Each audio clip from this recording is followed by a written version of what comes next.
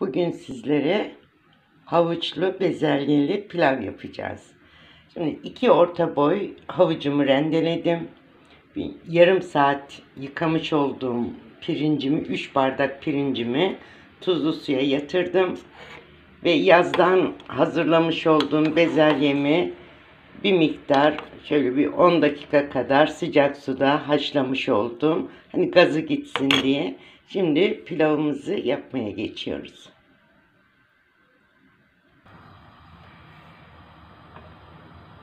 Tenceremize bir yemek kaşığı kadar tereyağı ilave ettim.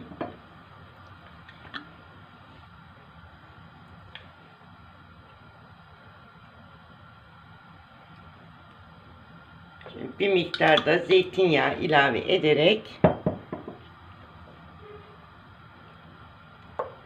yağımızın erimesini bekliyoruz.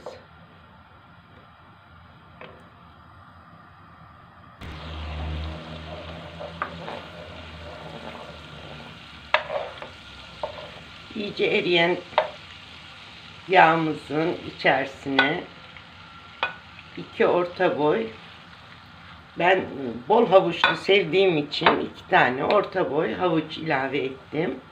Bunu iyice kavuruyoruz.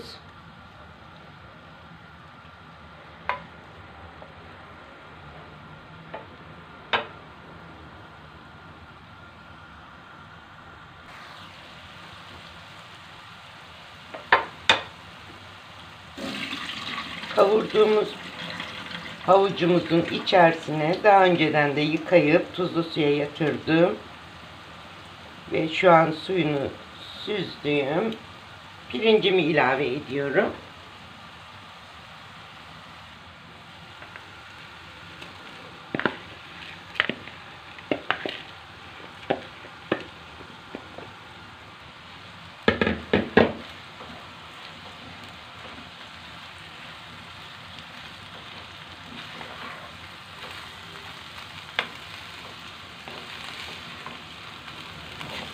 Siz bunu hazır garnitür e, havuç bezelyeden de yapabilirsiniz. Ama doğalı varken şu şekilde de hazırlanabilir. Ben yazdan bezelyelerim vardı. Dolaba koyuyoruz. Havucumu da alarak bu şekilde bugün şöyle rengarenk bir pilav hazırlayacağım.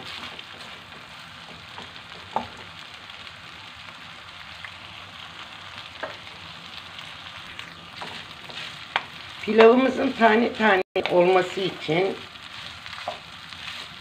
sırrı bu, bu esnada güzel kavurmak.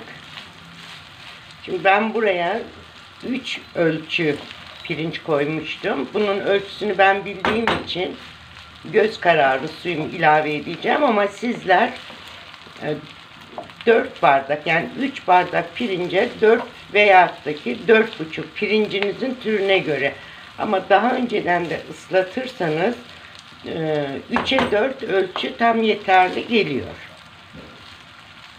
Pirincimizi daha önceden ıslatmamızda fayda var. Suda bekletmemizde ıslatma derken suda bekletmemizde. Ve bezelyelerimi de ilave ediyorum.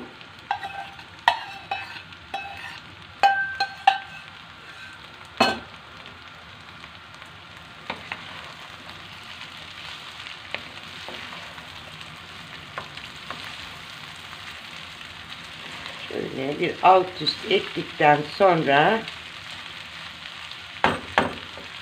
suyu ilave edeceğim.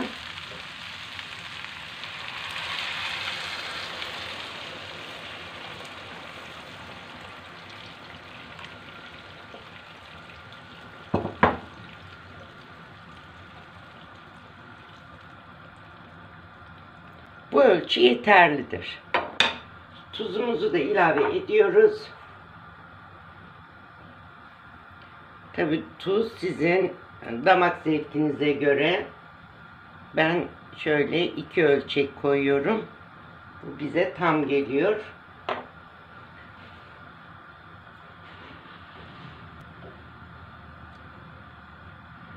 Bir taşım kaynadıktan sonra harlı ateşte altını kısarak demlemeye bırakıyorum.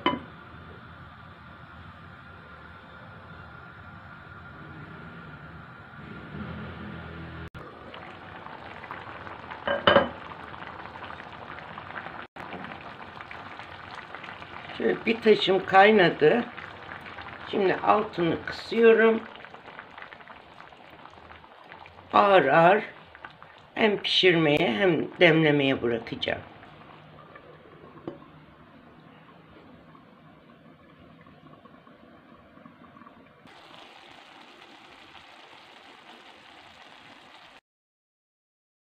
Ağır demleniyor.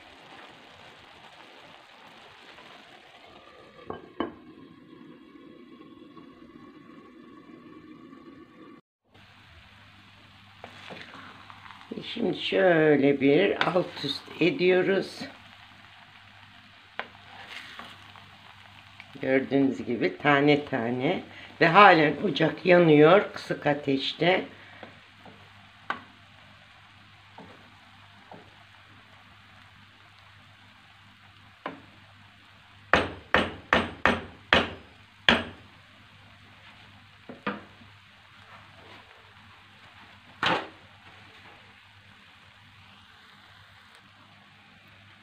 Bir tenceremi şöyle buğmatiğimi koyup tamamen demlenmeye bırakıyorum.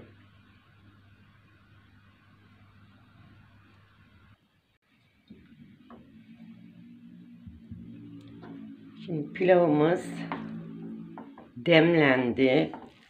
Biraz da dinlendi. Ve tane tane oldu. Şimdi servis zamanı.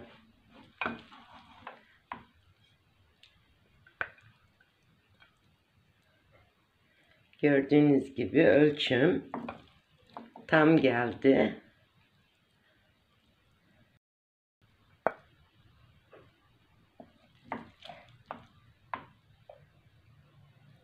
Her yemeğin yanına yakışan bir garnitürlü, bezelyeli, havuçlu pilavımız. Ve bugün biz de tavuğumuzun yanında bunu garnitür olarak pilavımızı bu şekilde yiyeceğiz. Bizlere afiyet olsun. Yapacak olan arkadaşlarımıza da kolay gelsin.